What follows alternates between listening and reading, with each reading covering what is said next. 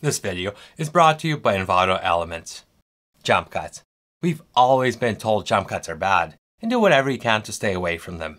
And if you're making a feature film, that's very true. But if you're making a video you just want to show your family and friends, or even post online, are jump cuts really that bad? I mean, go watch any good vlog on YouTube. It's probably full of jump cuts, and they're not even that noticeable. Until you try adding a jump cut to one of your videos and it sticks out like a sore thumb. Is it just because it's your video and you notice it more? Or is there a trick to adding jump cuts? Well, it turns out there is a trick to adding jump cuts to your project, and this one tiny step can make a huge difference. Over the last few weeks, I've been taking Casey Neistat's filmmaking course on monthly.com. I'm learning a ton about telling a great story, which I need a lot of help with, but I'm also picking up a few editing tips as I watch Casey edit his movie. To make his jump cuts a little less noticeable, what Casey does is blend the audio from his two clips together, and it actually makes a huge difference. Let me show you. I have two clips in my timeline with a pretty noticeable jump cut. recently side recently Now, because I moved throughout this take, there's no way to make this look like one continuous shot. But we don't have to. All we need to do is draw the audience's attention away from the cut, just so it's not so noticeable. One way to do this, the method I learned in Casey's course, is to use audio to hide the cut. And it's really simple. All you do is cut a few frames from the start of your second clip and drag them under the end of your first clip. Add a bit of a fade to both clips, and because you blended the audio from both these clips, the cut is quite a bit less noticeable. outside recently i took a filmmaking course by Here's a jump cut before. so i decided to do this outside recently i took a filmmaking course and the same cut after blending audio. i decided to do this outside recently i took a filmmaking course The jump cut is still there, but much less noticeable. Not perfect, but it works. While on this topic, I want to talk about a few other ways you can hide jump cuts in your video. One awesome way to hide jump cuts is by using B-roll. For example, if I'm talking about using an iPhone to film yourself and I have a jump cut I need to hide, I can just take some footage of me using an iPhone and connect it above my timeline.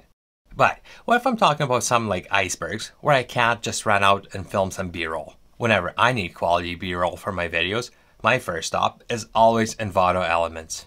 Envato Elements has a library of over 2 million high quality stock video clips you can use in your next project.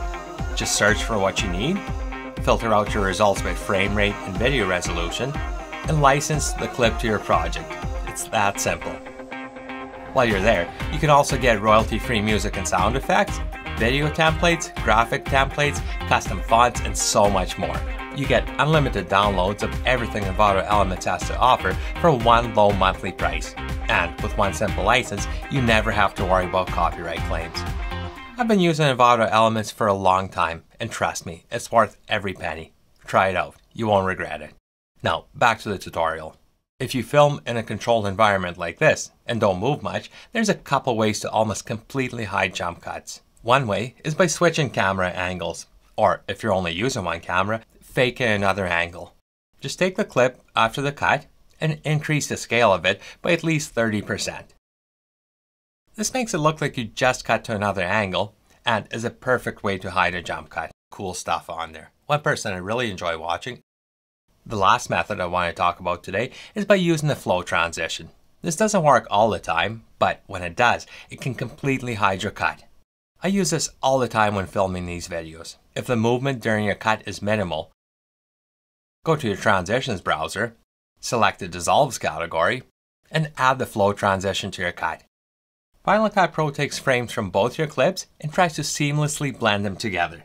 What I find works best is ripple trimming this transition all the way down to 3 frames. Let your clips render out and your cut is completely gone. And predict the movement.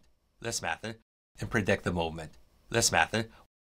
It doesn't work all the time, but when it does, it's pure magic.